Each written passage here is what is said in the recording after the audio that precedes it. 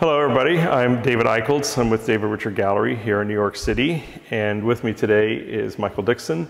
And uh, this is a new exhibition uh, that, of Michael's work. It's recent and current work that uh, he had started actually here in New York uh, in 2015 at the uh, Sharps Walentas uh, Foundation during a fellowship and um, and he teaches. He's a full professor at Albion College in Michigan, mm-hmm. and so uh, he came back in for this exhibition. And what we'd like to do is have Michael. Uh, discuss the paintings, uh, some of the different elements in the paintings, um, some of the different titles, and the whole body of work. Um, and we won't go through all of the paintings, but enough of them for you to get a feel. They're all on the website, and, uh, and there'll be an online catalog as well um, for you to use as a reference. Uh, the title of the exhibition is I Too Sing America, which is the first stanza of a, um, of a poem by Langston Hughes called I Too. Mm -hmm. And so I think you'll touch on that as we go around, um, there's a couple of these where it really speaks uh, very specifically to that, um, to what's in that poem. So what I'd like to do is have you start with this particular painting. Um, this figure uh, is a recurring theme uh, through a lot of the paintings. Um, and the title of this one, I'm sorry everybody for having to pull this out, but just want to make sure we have it correct. Uh, the title is We Have Not Ended Racial Caste in America. We have merely redesigned it. Mm.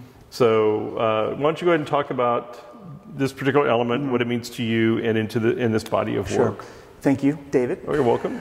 So this whole uh, this whole body of work uh, is titled "The More Things Change, the More They Stay the Same," and these paintings, as you said, I started at the Sharpe. I was kind of into them at the the Sharpe-Walentas Studio mm-hmm. program here in New York. I was here for a year, 2015 to 2016.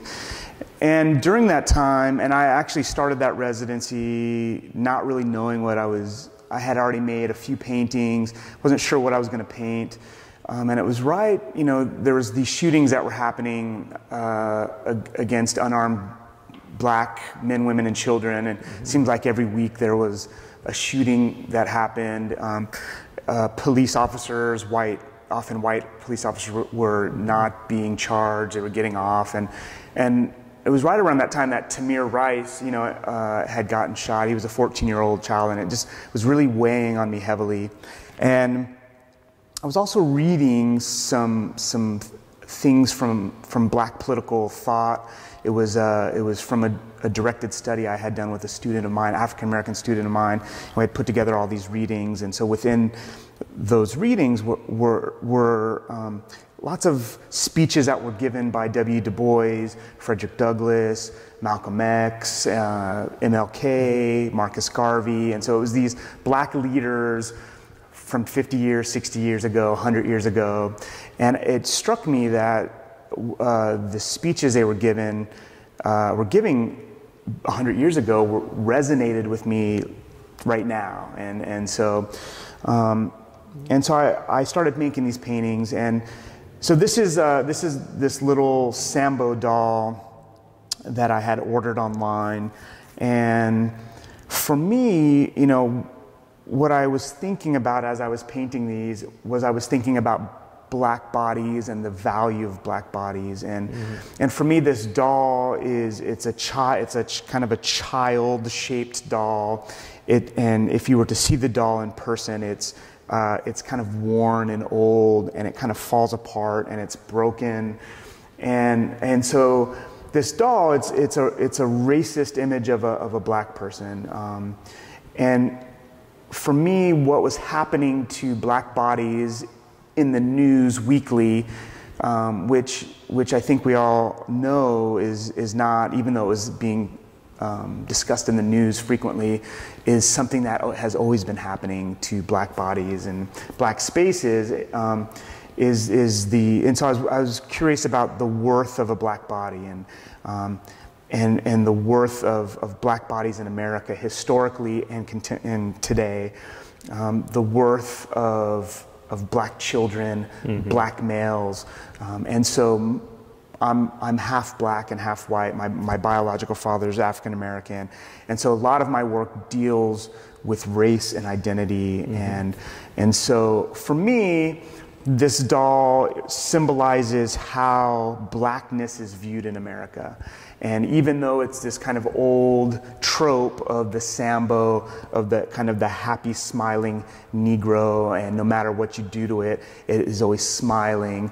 Um, you know, I think when you when when black bodies are able to be objectified and turned into objects, then violence is is people can do violence to those bodies easily. So for me, this this is the black body in America, and and what is attractive to me about it is that is the smiling face. Um, and, and, and I guess I say attractive because I am, I'm, I am both attracted to it and repulsed by it. And so I find it to be uh, a, an image that, that I, I, want to paint and I, I want to look at, but then it, at the same time, it's something that I find viscerally disgusting and hard to look at. And so, you know, I think, I hope that those kind of, those elements of, of disgust and attraction, you know, mm. uh, you know, I like to have those opposites colliding in my work, and I think, I think narrate, you can find narrative in those spaces where things collide that don't belong together. And so you have this beautiful kind of soothing blue background with this kind of disgusting imagery of a black person historically. Um, yet the, the image is smiling at the viewer. And so there's these kind of, these two things colliding that shouldn't be there. So. And the, Sambo doll actually references back though to, to slavery as well. Correct. Yeah. And, and yeah. then obviously into the Jim Crow era, yeah. and so a lot of your imagery um, references back about almost 150 or more years. Yeah. Of sort of um, this sort of prejudice and, and treating as, as other mm-hmm. um, the black communities as a whole. Right. Okay. So we're standing in front of uh, this painting here, which is titled White Liberal.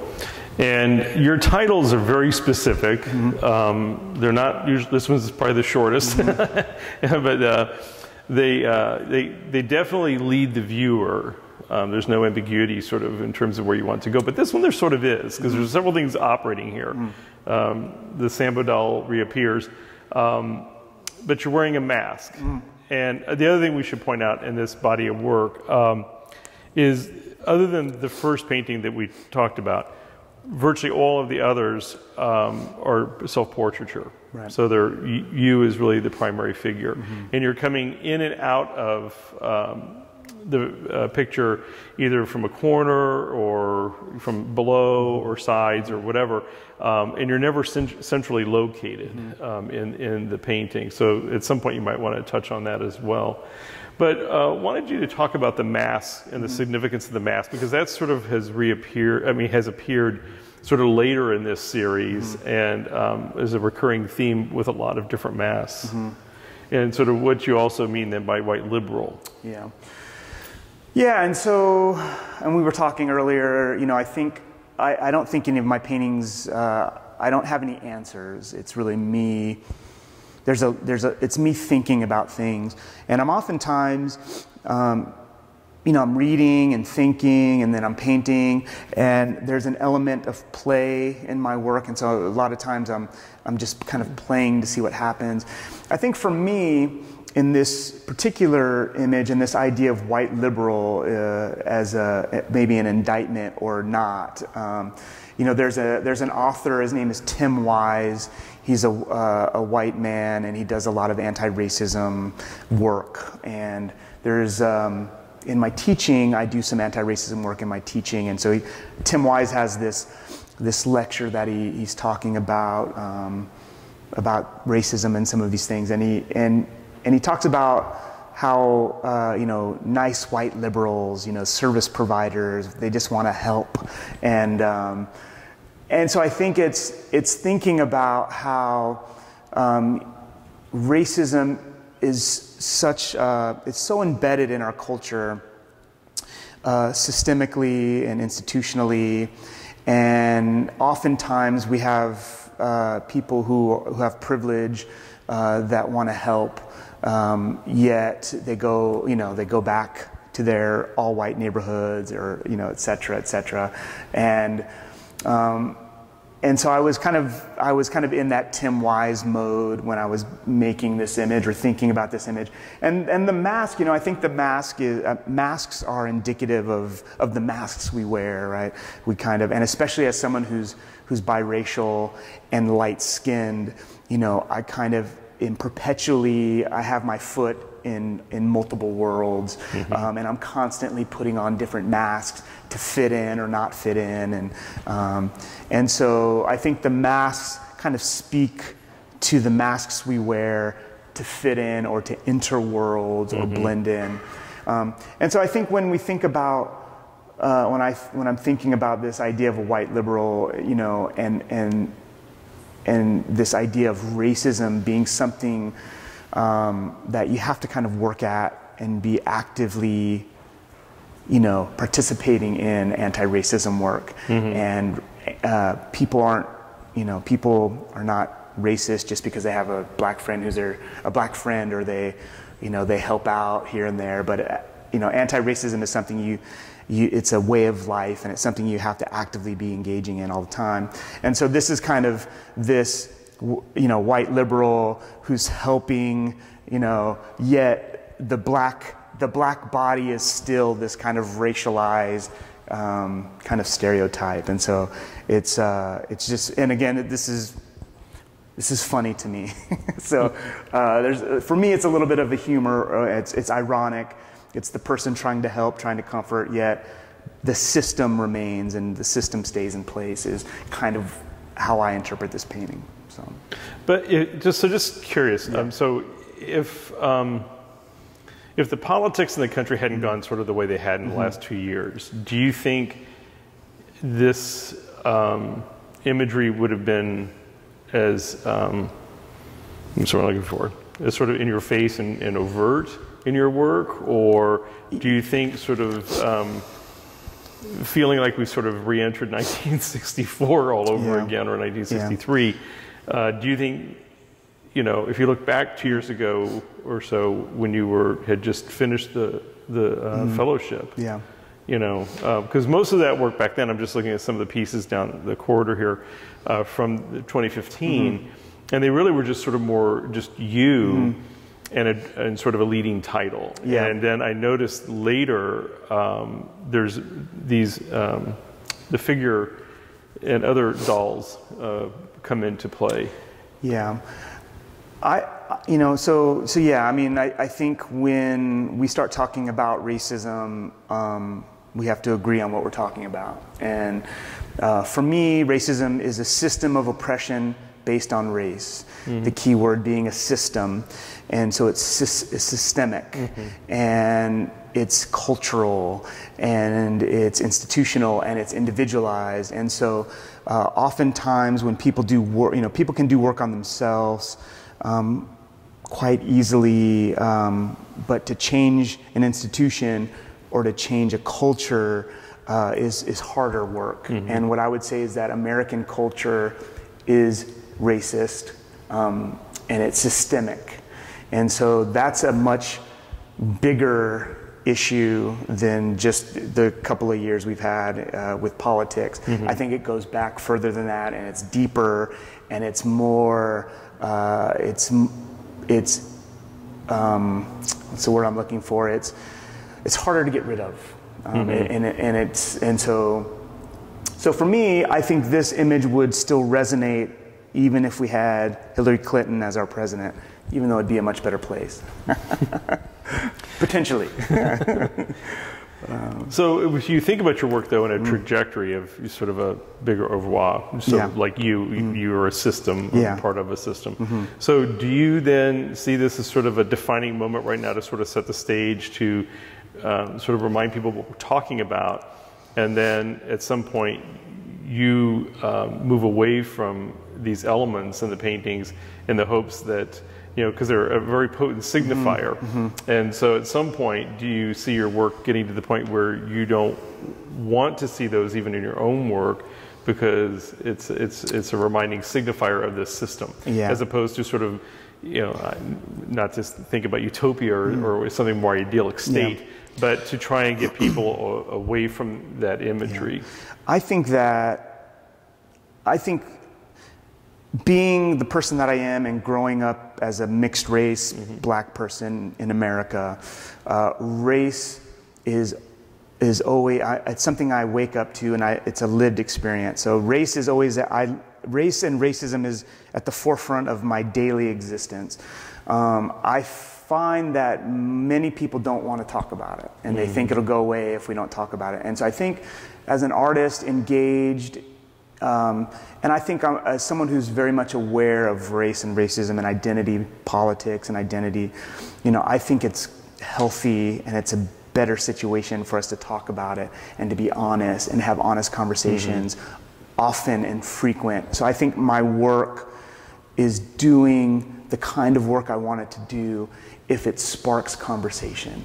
And so I think I don't like I said I don't think I have any answers per se, but I think if Okay. if people come to my work and it, it sparks a conversation around race and identity, I think that's when my work is doing Its its, job. job. yeah, and, Okay. and that's what I hope for it. So All right, Yeah. good.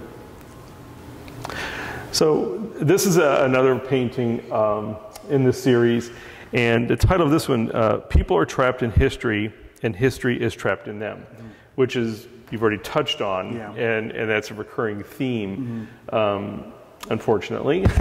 but uh, so there's a, a different figure in here, Right. another signifier. Right. Um, but I think I've only seen this doll once in any of all of these. But uh, but anyway, why don't you talk then about this one? If there's anything sort of different than the story we've talked about, or if it's just a you know continuance of the Yeah. theme with a, a different another. Um, the different doll. signifier, Yeah, yeah. yeah. I mean, and so and that's a James Baldwin quote. And so a lot and, and so a lot of the titles of these paintings come from books Oh, or okay. f- are little snippets out of s- these speeches that I was reading. Mm-hmm. And so um, this idea of history is trapped in us. You know, you know, history is in people and people are trapped in history or whatever the, the, Mm-hmm. the title is.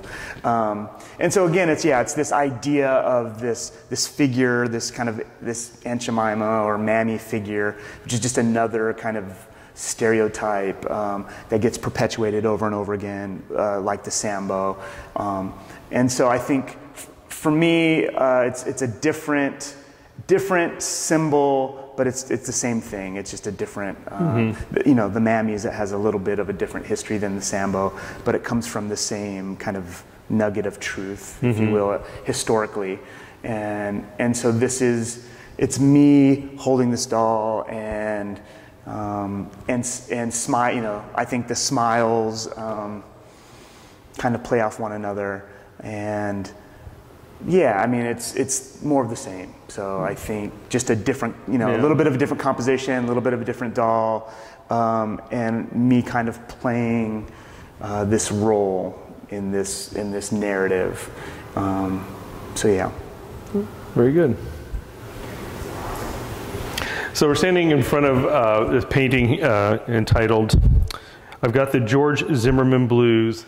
Slash jazz hands. Um, this one has definitely gotten a, lot of social media hits and a lot of uh, questions and Yeah. and interest. And so um, I think people know immediately what we're talking about when we say George Zimmerman. Yeah. But uh, so go ahead and, and talk about this because it's, it's a very strong painting. Yeah. And um, it's extremely well painted too. I, I love the the way we've never really talked about any of your painting technique, Yeah. which is uh, Yeah. for a painting show, and uh, this is actually a good one to come back to perhaps because um, you, you've uh, really done some amazing things on the face. Well, thank you. And, you know, and as I mentioned before, um, you know, I don't, there's a, I think historically with my work, and we talked about this a little earlier, is that I, I usually am reading and I'm planning and then I make the paintings, and there's always a little bit of intuition, always.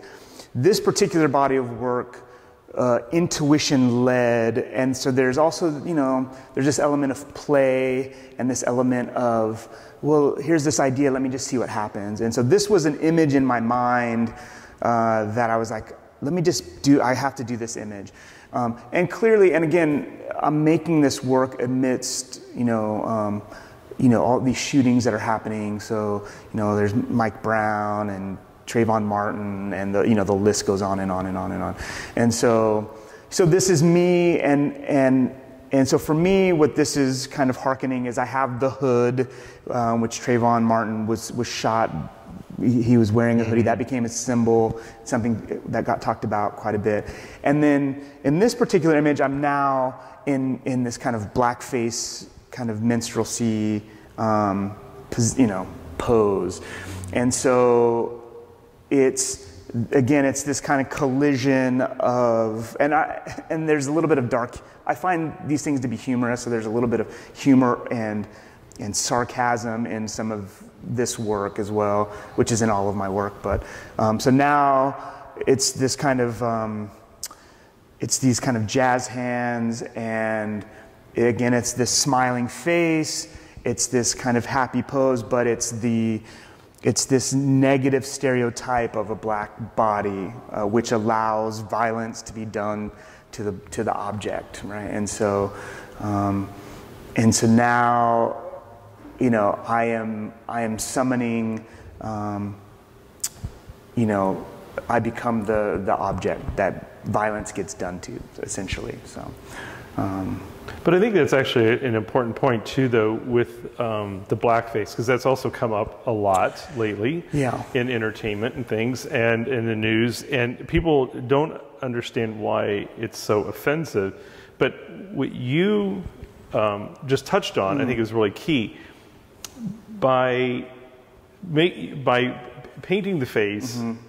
black and using very dark, mm-hmm. and and the, the, lips and everything, and yeah being very much similar. What it does is it takes away any uniqueness, individuality about a person. Mm-hmm. So you're not thinking about the person, the black person, as a person, as, right. a, as a unique individual. What you're thinking of them is, is as a symbol then. Right. It just reduces, as you said, everybody to this objective uh, sort of, I mean, just is this object and, and just a symbol. It makes it easier then for people yep. to do harm because you're not seeing the person as a person. Yeah. Or as their own person. Well, and, and, and the statistics bear this out. I mean, you look at, you look at statistics across any, any um, example, healthcare, you know, mm-hmm. um, housing, wages, violence, you know, and, and what you'll find is that, you know, African Americans, while a minority in America, you know, they make up, you know, they have the you know the highest percentage of, of poverty per capita mm-hmm. and you know drop you know um, violence is is higher per capita incarceration rates are higher per capita and so and so just kind of the list goes on and right. on and on and on and wages are lower uh, wages are lower and so you know and again and and and so this then harkens to as I mentioned before a, a systemic problem mm-hmm. in American culture right and so and the fact that we have someone like Trayvon Martin, a Tamir Rice, you know, these kids, you know, that are that are being murdered, and and then there's no justice. You know, I think again talks about a system where blackness and black bodies have less value, and um, and so that's what you know. That's for me is what all of this is evoking. And so, um, yeah, and I've got the George Zimmerman blues, you know, and it, and it's so it's almost yeah. like a sh- it becomes entertainment even, you know, it becomes a becomes a show, it becomes a minstrel show that plays out, um, and it's and it's the blues. It gives me the blues. Oh yeah, definitely, so, definitely. So we're in front of a, another painting, uh, simple title, Birmingham 1963, and I think all of us who, or my age for sure know what that means, and uh, it's a very strong uh, reference yeah. to all of us. But this is a little bit different imagery. It's again, it's you. Um, but there's a couple of interesting elements in here. Um, obviously, this is with the fire hosing and, and crowd control, what have you, that's sort of representing what was happening during many of the, the race riots at the time. But there's some interesting features with the bib, the pacifier. Um, and the pacifier is sort of a recurring tool for you. And um, so I'd like for you to talk about that because I, I have a, a thought about it, Yeah. but I'm curious what you were thinking, especially when I see this whole ensemble. Yeah, and so so for me, this uh, initially started off as a as this crazy like, huh, me in a diaper and a and a, and a binky, like, oh, that would be weird. I have a beard and a, and I put on a diaper and a bib, and it's it's this kind of strange image. And so as I was painting this image, you know, I was thinking about how uh, black males in particular have been emasculated, um, and I'm thinking about this uh, this kind of phrase like "Hey boy," you know, and especially when it comes to with police and blackness and incarceration and how and kind of losing rights and losing the ability to uh, take care of yourself. And so all of that gets wrapped up in this for me. Um, and, and one thing I didn't mention is that all of my work starts as a, as a performance. And so I do some kind of performance, some kind of performative act, either in public or in my studio. I take lots of images and document it, and then I, I'm making the paintings from these doc, these these photos. So there's a couple. My paintings are a couple steps removed from the the act of the performance, and so this was. I was actually I was working with this imagery that's in this room, but I was teaching a workshop at Penland, which is a um, it's Penland School of Craft. It's in North Carolina. I was teaching a painting workshop there, and so um, this was one of my students, and I did this performance where I was he was hitting me with a hose in the face, and um, and I had the goggles on, and I had a kind of a cape like a superhero, um, and so afterwards. Uh, we were kind of we were talking about it, and, and the students had all watched the performance, and and the guy that was spraying me, and and all, at least the white students were really uncomfortable, like with with the whole thing, and the guy that was was in, and every everyone was like, yeah, you know, it, it reminded me of um, kind of like civil right the civil rights Right. movement, like um, it. And the guy was like, you know, I just felt uncomfortable spraying you in the face. It was as if I was um, trying to keep you keep you back, or you know. And so there was all these kind of like so it was an interesting uh, performance in that as it, it evoked all these emotions and specifically racial emotions uh, with with the students and myself. And so that was pretty interesting. And so and so yeah I I had made the, I did the performance. I had the imagery.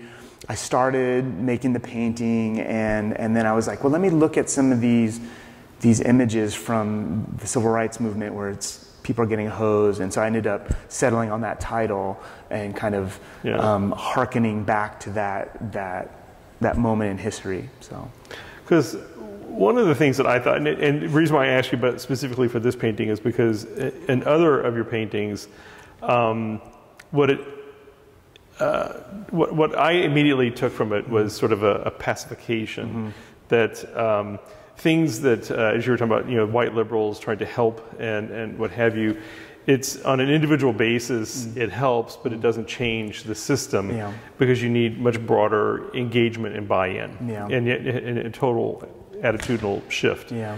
uh, to eradicate and just sort of you know get back to normal. But because there's another one over here where, where, uh, with the pacifier, and it's called "The More Things Change, the More They Stay the Same," and that's what I was thinking about. Is it was some of the things that happen within a particular city, under a particular mayor, or under a particular governor, or whatever, um, if it isn't system wide, it's um, it doesn't really change anything, and it's sort of a the intent is well meant, but it's a bit more of just a pacification because it it doesn't really change things.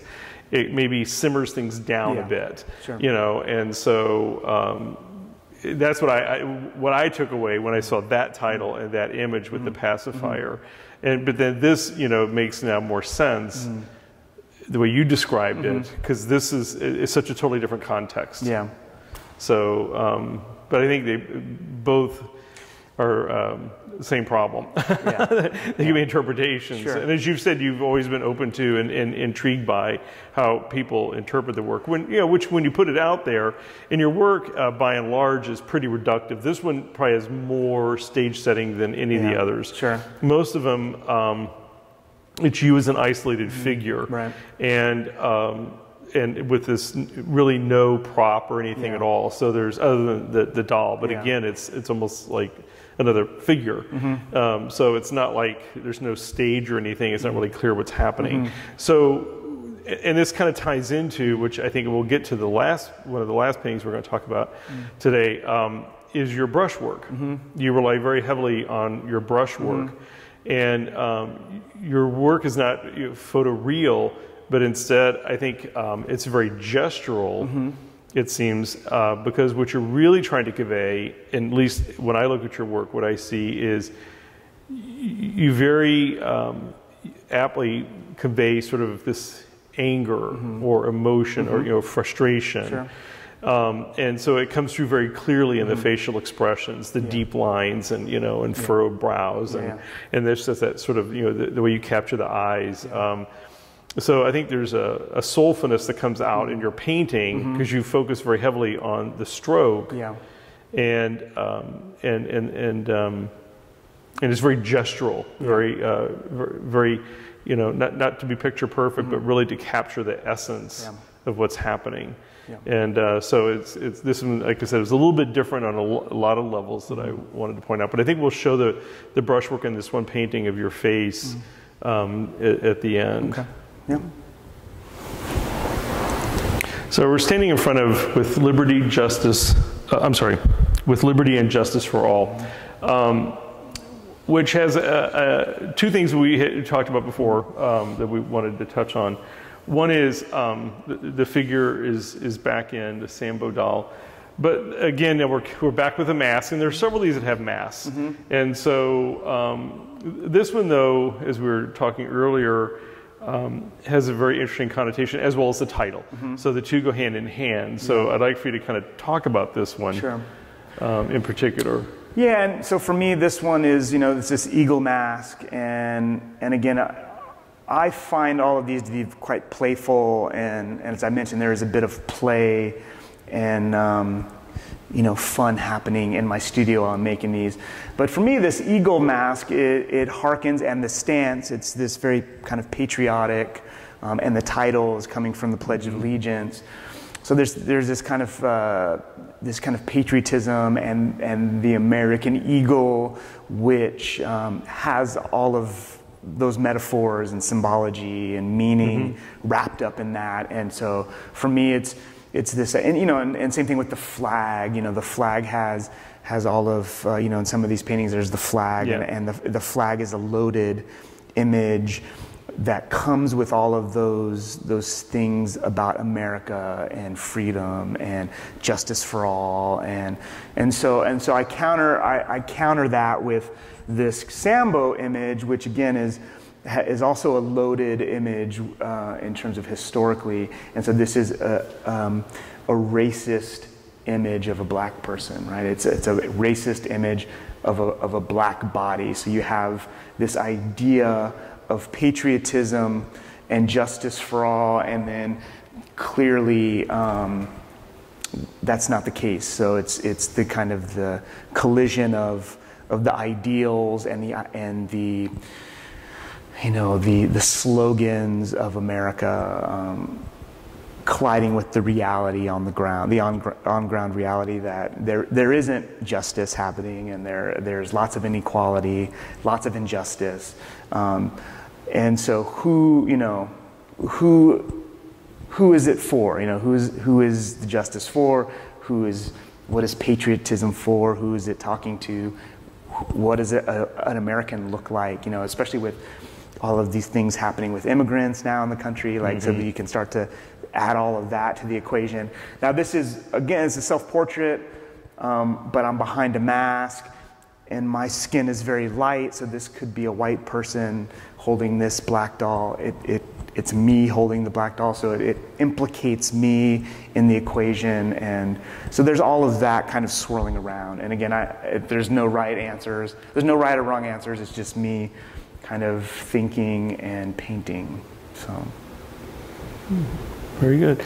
In terms of painting technique, though, too, I happen to notice um, the um, you've outlined mm-hmm. just as just kind of mm-hmm. talk about painting.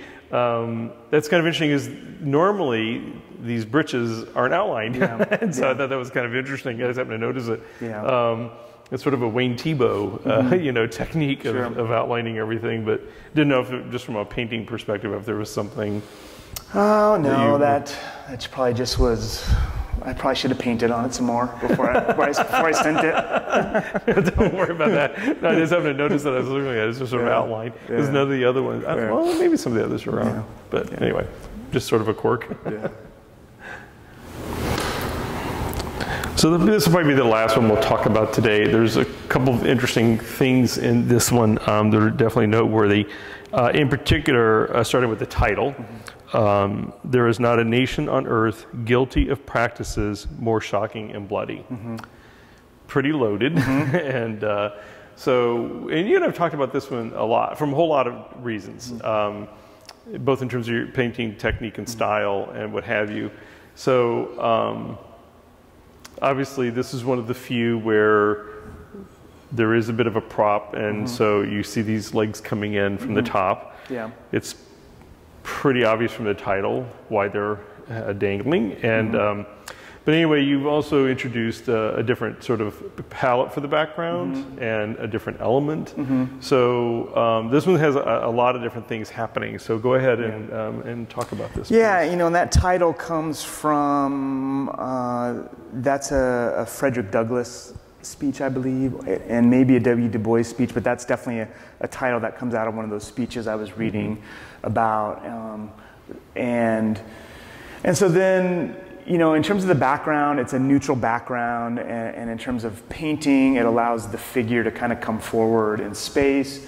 Um, I did create this line to kind of create maybe a, a, corner of a room or create some space or atmosphere.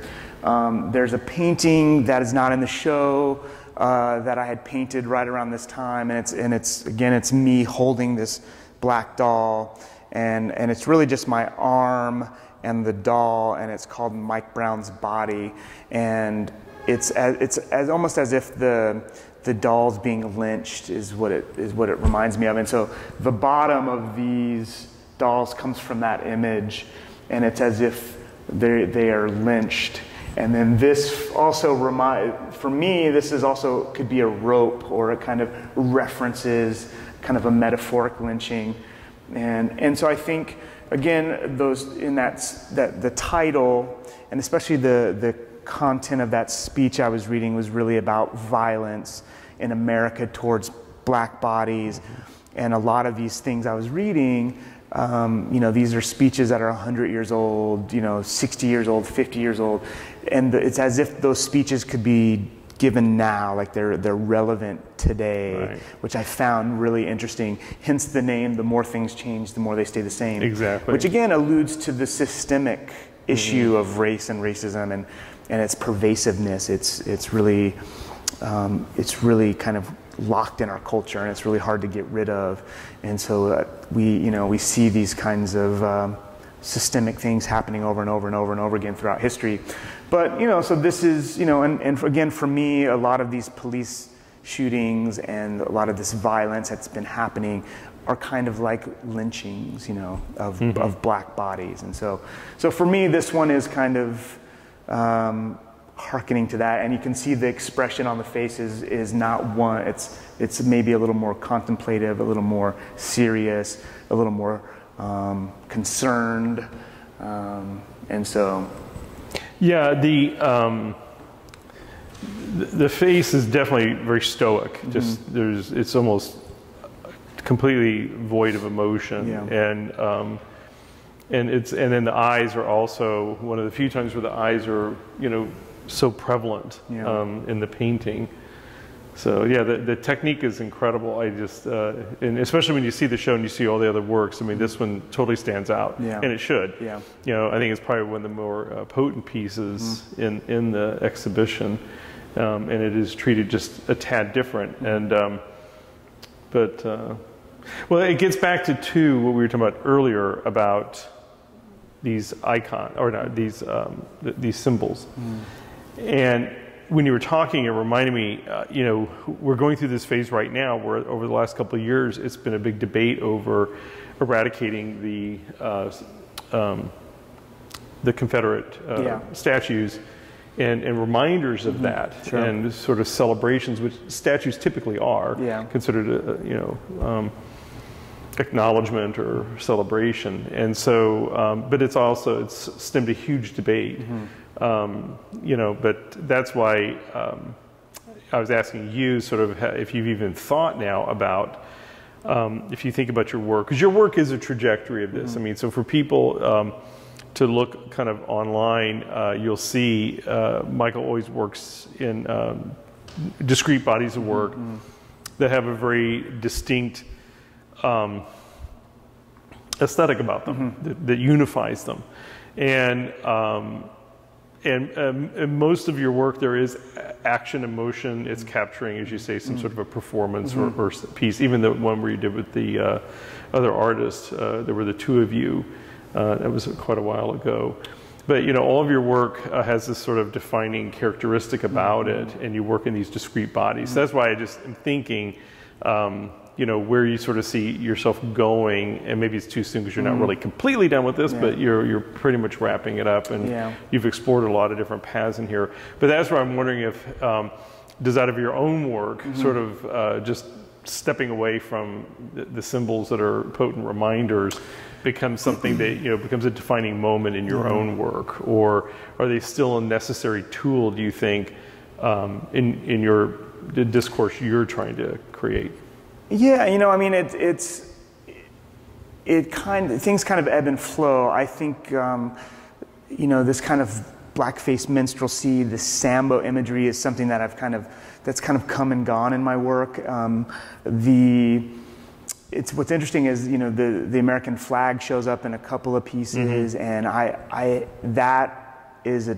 is a symbol or a a tool that I've used in some in a, long time ago in some early work, and so it's interesting how things kind of come back into the work and leave, and so I think. Um, yeah, I mean, I, I try to be as honest and authentic in the space that I am at the at the appropriate time, and, and so I think, you know, some of the stuff will kind of come and go, and, and if it will always be there, I don't I don't know. Maybe it'll go away forever, but um, but yeah, it's interesting how symbols kind of come and go in my work uh, over the years, you know. So uh, and how I how I come back to certain things or leave certain things out, and so.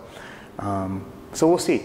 Yeah, I don't have the answer 100% to that yet, but no i know it's, it's always an evolution and, and again this work even some of what's in here as we talked about um, you know you started this series three or four years ago but it, it definitely um, you ramped up on certain things you know partly out of what's just been happening in uh, our culture and in, in the news Sure.